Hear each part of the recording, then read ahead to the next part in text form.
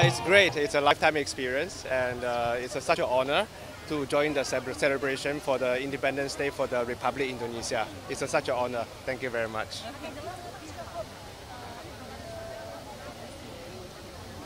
What was it? Oh, hope. Oh, I hope Indonesia uh, will do better, come out this uh, from this pandemic uh, uh, stronger, and uh, yeah, Indonesia bisa. Merdeka, Merdeka. Thank you, thank you very much. Thank you, everyone.